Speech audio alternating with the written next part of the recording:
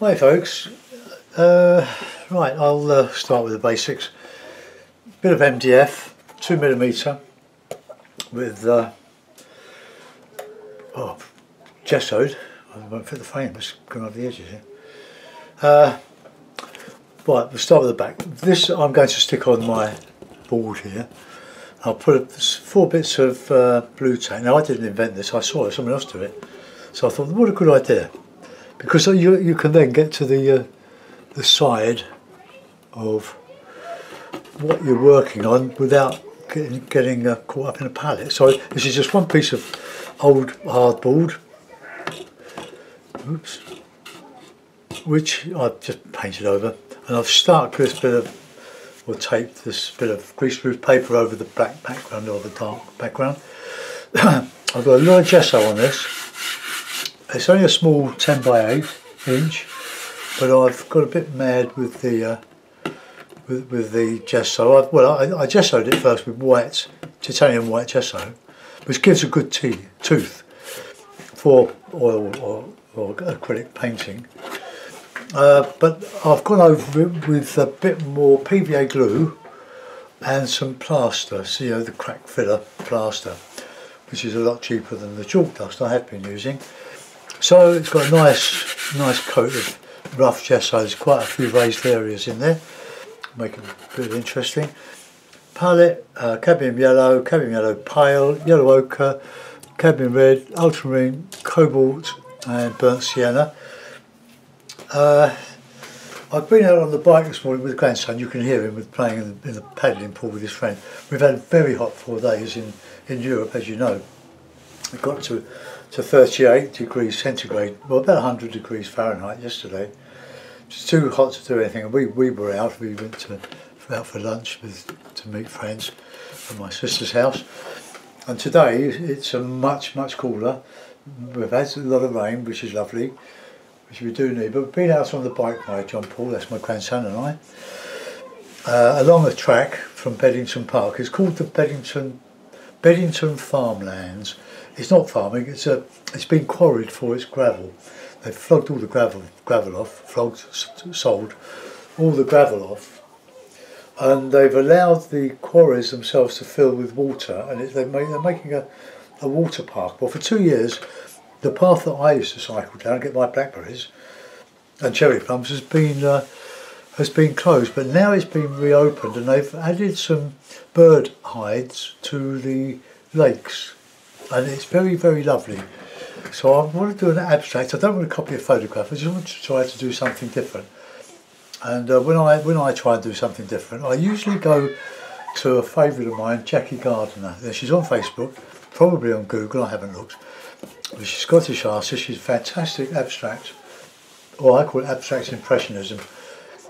Most of her paintings have got a have got a handle on the landscape or the seascape but she does some wonderful things and gives me some great ideas.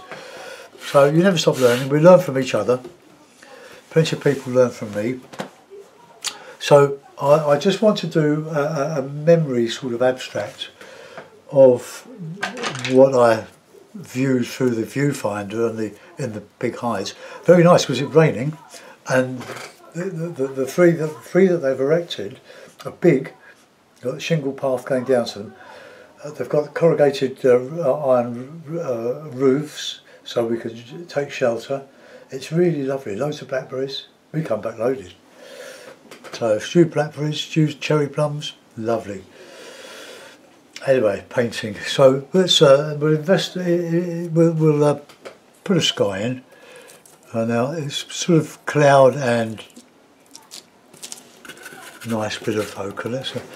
Oh, this is a bit of a medium open medium. Refined linseed oil with, with some uh, alkyd resin fast drying stuff in. So these paints dry over, over a couple of days. Nice thick oil paint. But um, the great thing with it is that it, as distinct from acrylic, it uh, just dries and, you, and as you work on it, it, it goes a bit tacky so it will take more paint. So I'm just I'm just putting some light sky in and some heavier stuff. Uh, right, okay, I'm going to put some white out. I think I'm going to use quite a bit on this little painting. I cut four boards, I think yesterday, a couple of days ago, and prime them all with the gesso. And I'm using different sort of layers of gesso, adding things to, to it. Right, now that's my white brush. I'll keep that separate. I've got another one of these uh, lovely gra graduate brushes. I don't think I've used that one, but I'm going to now. So we'll have a, let's have a bit of, um, I'm going to use a bit of black. I like black. It's a great shortcut to greens and, and to sort of dark blue-grey skies, clouds. I also like burnt umber, but I, haven't, I have got some of that. I'm going to use some black with a bit of, sorry, bit of, bit of ultramarine, bit of black in there to darken it. Let's take some of that white, and then with a bit of uh, medium, and we'll just bung it on. A bit more black, white, bit of uh, medium. So it's just too coming out, two blue. I've got some cadmium, not cadmium, some uh, cobalt blue, which I might or might not use. But I just want to get some colour. You can hear the boys out there. They're, they're both 11. They do feed off each other. They've got a we blew the paddling pool up, but it was it was very warm yesterday. It's not so warm now. I'm fairly low horizon, but I'm going to try and uh, abstract a lake in there somewhere somehow. Right, go back to my lighter brush, and we'll add some some of this yellow ochre white. I, I, it's lovely, just just letting rip with a brush, not copying a photograph, but but just plunging the splodging the paint around. Copying from photograph is, is fine if that's what you want to do, but we all do it. But um, as you art, with this, it's sort of impressionist. Um,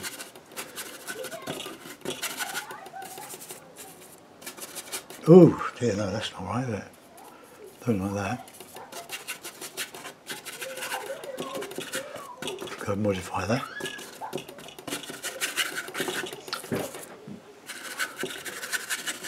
I'll put a lake in. I'll put a bright landscape in.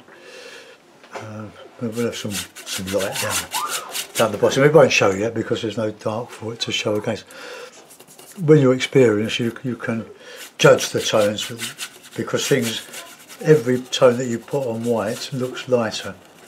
So you tend to compensate and make and make the uh, your paint lighter to compensate, but when you end up with a very, very light painting. Right, um, just a touch of that ochre coming in there.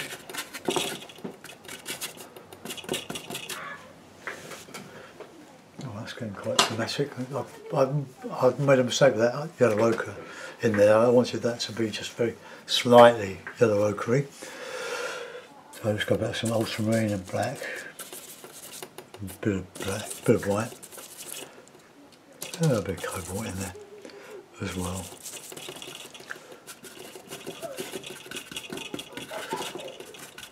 It's to make your brushstrokes lively rather than measured or, lifeless. Uh, it's good.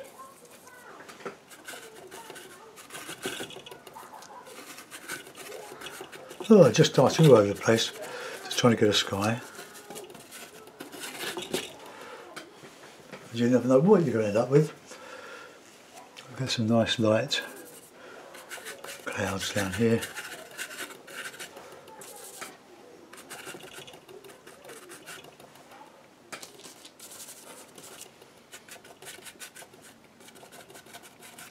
we change that. I'll go back to that and let it dry it off a little bit put a little bit of bit of, uh, that colour on the horizon, bit, bit of cloud maybe, but faint.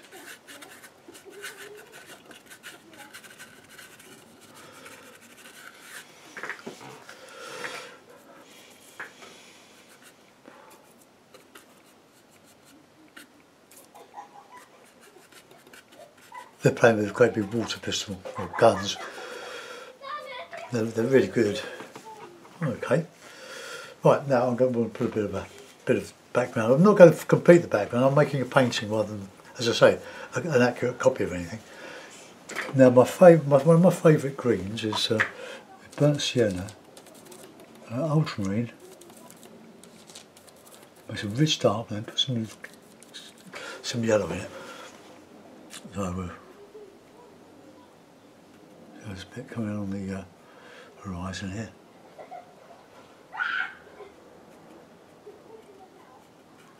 Just let that gesso do its work. A bit of red in there.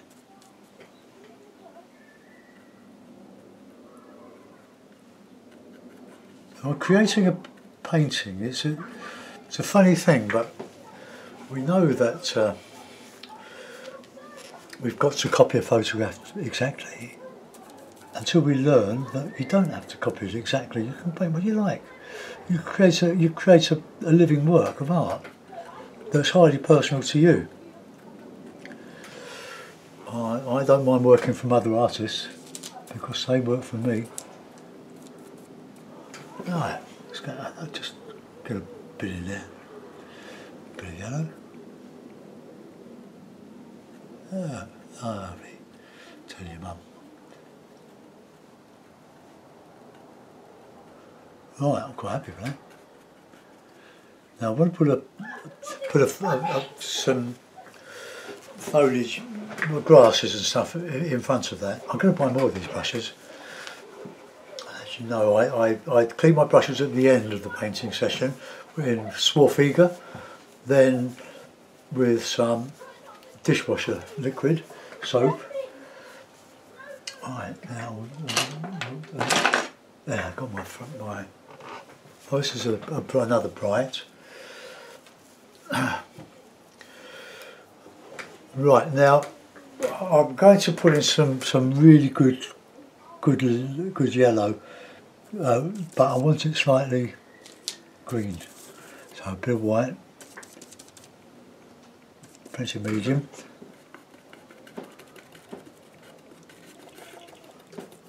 Oh, yummy, luscious. Oh, somehow I'll work up some water. Let's just drink some of that down into there. Just happy accident. Uh, bit of red in there. Let's just change colour a bit. Oil painting is, is a fantastic that's why we use it. It's uh, great. But if you've got a problem with breathing, I wouldn't recommend using fluids. I've managed to work, my, develop a, my technique away from using those who are mediums, the petrochemical mediums. They ain't no good. Oh, let's, let's get a nice colour in there. Bit of red, a bit of orange. Get warmer. Bit, bit, bit of blue in there. Lots of reeds and stuff they planted. It's, so it's, it's a bird paradise. Or ducks, geese, migrating birds. You know them boys. It on, eh? No point in putting it out and not using it. Let's check that up there.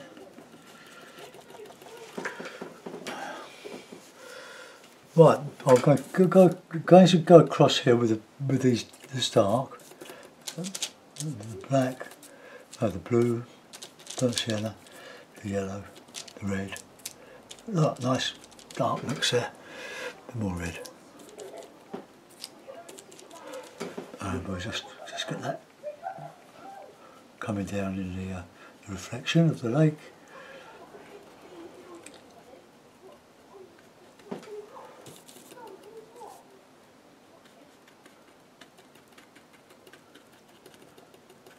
They fall in and out of each other as friends. Typical boys. Boisterous, lively, full of life. This could almost be uh, the boardwalk Morden Hall Park. Let's just take some of that down here.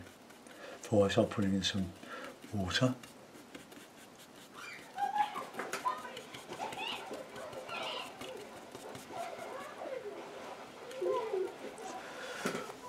I'll get more bright, brilliant yellow. So we've got a back of that cad yellow pale and add a little white to it.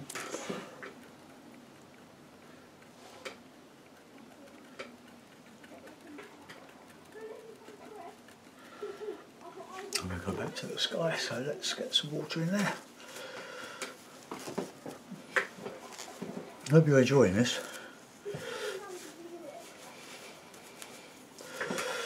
It's trying to get you away from traditional or the um, mindset of having to copy exactly. You don't need to copy the impressionists. Well, they work from photographs. Oops, wrong place. They work for photographs, okay, but they didn't copy the photographs. They just used them as a as a as a rough guide, a rough guide, making an impression. Well, let's go back to.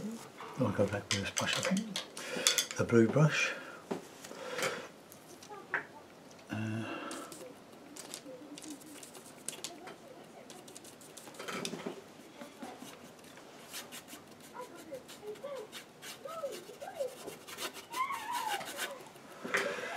Plenty of medium as well.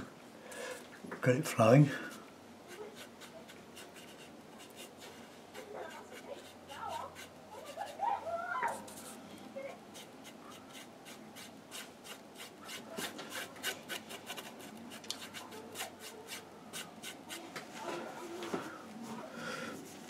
Right, get some some of the ochre stuff in there now.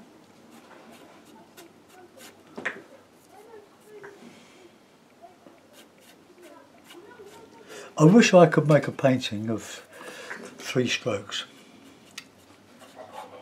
but of course you can't. huh?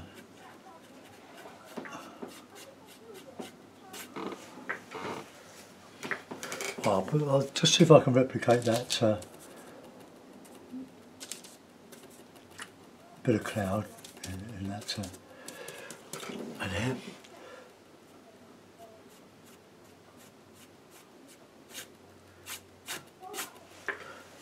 No, it doesn't look great.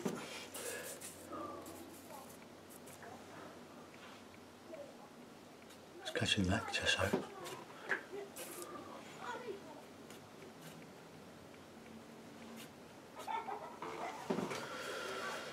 Right, well we've got a reflection in there too now. So just work on that sky there. I'll put some uh, some of uh, some more white out. Let's just clean that clip because that'll get on my on my uh, frame probably if not careful. Right. If you do get into into um, acrylics or oil, you'll use more white than anything. So big tube, that's about 12, 13 pounds for for a, a 200 milliliter tube. The most economic way to buy it, you'll use more of this in, by far than any other colour. Uh, right, okay, sky, bit of sky. Now we're going to be very bold with that sky. Now we're a bit of impasto. Oh, big dollop.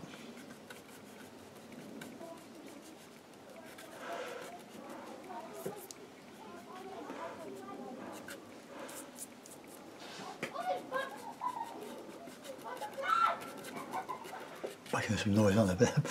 Better annoying the neighbours.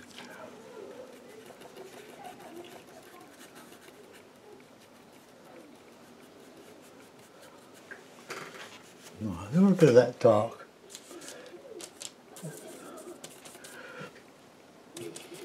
Blue in.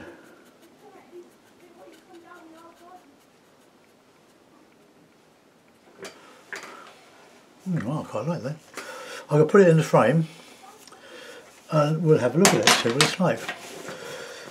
It's an impression of Beddington Farm land from this morning. It looks totally different to anything I've ever seen on there, but then it was meant to. It's a great way of helping you to loosen up, get away from tightness. But of course, you paint how you like. You can't you can't learn, learn uh, style by copying someone else. Really, it's best to copy somebody else, but develop your own style, which will uh, develop the more you do. It'll be a natural occurrence. All right, put that in, there, put that in the frame. Might have to use a couple of pins to just hold it in, or not, as the case may be. Uh, no, it'll be okay because I uh, went over with the gesso. Now, what we've got here, uh, the frame, I've banged some veneer pins behind this bit here to keep the, the wet edge of the board off of the frame, to keep the paint off, the, off of the frame so it, it doesn't stick in the frame. So there we are, there's a sort of an abstract that uh, I like. Just, straighten up. There, there. Uh, I hope you like the setup for my oil, oil painting and acrylic painting. So we've got quite a lively sky there and quite a lively landscape with lots of brush strokes. Uh, it's, a, it's a feeling rather than um, a copy of anything you see things, you see a, a, light field or from another painting, you think, oh, that's lovely, I must, I'll, I'll, incorporate that. Or a flash of light on the on the um, the water.